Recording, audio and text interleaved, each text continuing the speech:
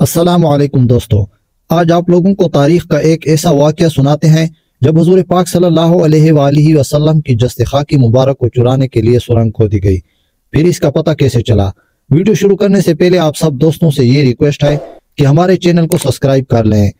हमारे चैनल पर आपको इस्लामी वाक़ात अहादीस और इस्लामी तारीखी किस्से कहानियाँ सुनाई जाएँगी। तो वीडियो शुरू करते हैं। सुल्तान नूरुद्दीन जंगी रहमतुल्लाह अलैह सुल्तान नूरुद्दीन एक आबिद शब्बेदार थे वो एक अजीम शान सल्तनत का फरमान रवा होने के बावजूद ऐसे मर्द दरवेश थे जिसकी रातें मसले पर गुजरती थीं और दिन अल्लाह ताला की राह में लड़ते हुए वो अजमत व किरदार का एक अजीम पेकर थे जिसने अपनी नौ के शमशीर से तारीख इस्लाम का एक रोशन बाब लिखा सुल्तान नूरुद्दीन रात का बेशतर हिस्सा इबादत मनाजात में गुजारता था सुल्तान का मामूल था कि नमाज़ ईशा के बाद बकसरत नवाफिल पढ़ते और फिर रसूल अक्रम वसल्लम पर सैकड़ों मरतबा दरूद भेज कर थोड़ी देर के लिए बिस्तर पर लेट जाते। चंद सातों के बाद नमाज़ तहजद के लिए उठ खड़ा होते और सुबह तक नहायत खुशू और खजू के साथ इबादत में मशगूल रहते। एक शब वो औराद वज़ाइफ से फारग होकर बिस्तर पर लेटे तो ख्वाब में रसूल करीम सल्लल्लाहु अलैहि वसल्लम की ज्यारत हुई। बाद रिवायतों में सुल्तान ने मुतवातिर तीन रात हजूर वसल्लम को ख्वाब में देखा। हर मरतबा दो आदमियों की तरफ़ इशारा करते। हजूर अक्रम वसल्लम ने फरमाया, नूरुद्दीन, ये आदमी मुझे सता रहे हैं।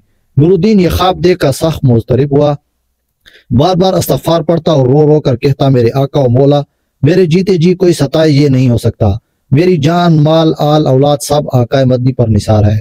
खुदा इस दिन के लिए नूरुद्दीन को ज़िंदा ना रखे कि हजूर वसल्लम गुलाम को याद फरमाए और वो दमिश्क में आराम से बैठा रहे।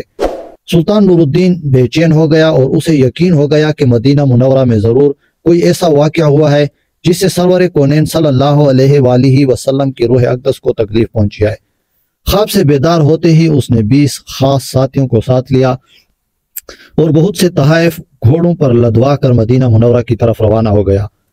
अहले दमिश्क सुल्तान के यक्का यक आज़े में सफ़र होने से बहुत हैरान हुए। लेकिन किसी को मालूम ना था कि असल बात क्या है। दमिश्क से मदीना मुनवरा पहुँचने में आम तौर पर 20-25 दिन लगते थे। लेकिन सुल्तान ने यह फासला निहायत तेज रफ्तारी के साथ तय किया और सोलहवें दिन मदीना मुनवरा जा पहुँचा। अहले मदीना इसकी अचानक आमद पर हैरान रह गए। सुल्तान ने आते ही शहर में आने जाने के दरवाजे बंद करा दिए। फिर मनादी करा दी कि आज तमाम अहले मदीना इसके साथ खाना खाएँ। तमाम अहल मदीना ने नहायत खुश दिली से सुल्तान की दावत कबूल की। इस तरह मदीना मुनवरा के तमाम लोग सुल्तान की नज़र से गुजर गए। लेकिन इनमें से वो दो आदमी नज़र नहीं आए, जिनकी शक्लें उसे ख्वाब में दिखाई गई थी। सुल्तान ने अकाबिर शहर से पूछा कि कोई ऐसा शख्स तो बाकी नहीं रहा जो किसी वजह से दावत में शरीक ना हो सका हो। उन्होंने अर्ज़ किया कि अहले मदीना में तो कोई शख्स ऐसा नहीं रहा जो दावत में शरीक ना हुआ हो। अलबत् दो खुदा रसीदा मगरबी जायर जो मुद्दत से यहाँ मुकीम है नहीं आए। ये दोनों बुज़ुर्ग इबादत में मशगूल रहते हैं। अगर कुछ वक़्त बचता है तो जन्नतुल बकी में लोगों को पानी पिलाते हैं। इसके सिवा वो किसी से मिलते मिलाते नहीं। सुल्तान ने हुक्म दिया, इन दोनों को भी ज़रूर यहाँ लाओ। जब वो दोनों सुल्तान के सामने हाजिर किए गए तो इसने एक नज़र में पहचान लिया कि ये वही दो आदमी हैं, जो उसे ख्वाब में दिखाए गए थे। इन्हें देखकर सुल्तान का खून खोल उठा, लेकिन तहकीक हाल ज़रूरी थी। क्योंकि इनका लिबास जाहिदाना और शक्ल सूरत मोमिनों की सी थी। सुल्तान ने इन दोनों से पूछा कि तुम दोनों कहाँ रहते हो?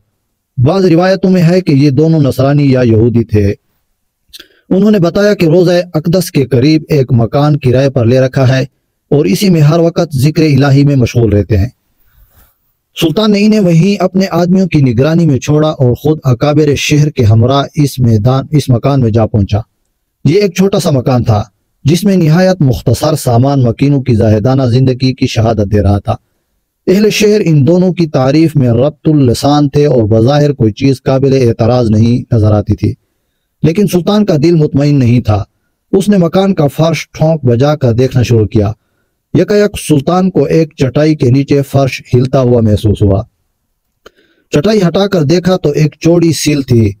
उसे सरकाया गया तो एक खौफनाक इंकशाफ हुआ। ये एक सुरंग थी जो रोज़ा अकदस वसल्लम की तरफ़ जाती थी। सुल्तान सारा मामला आनंद फानंद समझ गया और बेख्तियार उसके मुँह से सदक अल्लाह व सदक रसूल नबीजुल करीम निकला। सादा मिजाज अहल मदीना भी इस भेड़ नुमा भेड़ियों की हरकत देखकर शशदर रह गए। सुल्तान अब कहरो जलाल की मुजस्म तस्वीर बन गया और उसने इन दोनों मलूनों को अपने सामने लाने का हुक्म दिया। जब वो सुल्तान के सामने पेश हुए तो इसने इनसे नहायत गजबनाक लहजे में मुखातिब होकर पूछा, सच सच बताओ तुम कौन हो? और इस नापाक हरकत से तुम्हारा क्या मकसद है? दोनों मलूनों ने निहायत बेशर्मी और ढिटाई से जवाब दिया, ए बादशाह, हम अपनी कौम की तरफ़ से तुम्हारे पैगंबर का जस्त खाकी चुराने पर मामूर हुए हैं। हमारे नज़दीक इससे बढ़कर और कोई कार्य सवाब नहीं है। लेकिन अफसोस के इस एन वक़्त पर जब हमारा काम बहुत थोड़ा बाकी रह गया था, तुमने हमने गिरफ़्तार कर लिया। एक रिवायत में यह है कि यह सुरंग हज़रत उमर रजील्ला की जस्त मुबारक तक पहुँच चुकी थी। सुल्तान का पैमाना सबर लबरेज हो गया। उसने तलवार खींच कर इन दोनों बदबख्तों को जहन्नम रसीद किया और भड़कती हुई आग में डलवा दिया। ये काम अंजाम देकर सुल्तान पर रकत तारी हो गई। वो मदीना मुनौरा की गलियों में रोता हुआ घूमता था और कहता था, जह नसीब के इस खिदमत के लिए हजूर सल्लल्लाहु ने इस गुलाम का इंतखब फरमाया। जब जरा करार आया तो सुल्तान ने हुक्म दिया कि रोज़ा नबी वसल्लम के गिर्द एक गहरी खंदा खोदी जाए और इसे पिघले हुए शीशे से पाट दिया जाए। सुल्तान के हुक्म की तामील में रोज़ा अथर के चारों तरफ़ इतनी गहरी खंदा खोद दी गई कि ज़मीन से पानी निकल आया। इसके बाद इसमें शीशा भर दिया गया ताकि जमाना की दस बर्द से हर तरह से महफूज रहे। ये शीशे की दीवार रोज़ा अकदस के गिर्द आज तक मौजूद है और इन अब तक कायम रहेगी। आज भी अहले इस्लाम सुल्तान नूरुद्दीन का नाम नहायत मोहब्बत और एहतराम से लेते हैं और इनका शुमार इन नफूस कदसी में करते हैं, जिन पर सैदुलबशर ने खुद अहतमाद का इजहार किया और इनके मुहिब रसूल सल्लल्लाहु होने की तस्दीक फरमाई। किताब नूरुद्दीन महमूद, जंगी मुसनफ़ तालिबुल हाशमी, ख़त्म शुद। दुआ है, अल्लाह ताला हमें हर तरह की बुराइयों से अपनी पनाह में महफूज करे और हमारा खात्मा ईमान पर फरमाए। आमीन, सुम आमीन। उम्मीद है, वीडियो आप दोस्तों को ज़रूर पसंद आई होगी। मजीद इस्लामी वाक़ात अहादीस और इस्लामी तारीखी किसे कहानियों के लिए हमारे चैनल को ज़रूर सब्सक्राइब कर लें। अल्लाह ताला की हिफ्ज़ अमान में रहें। शुक्रिया।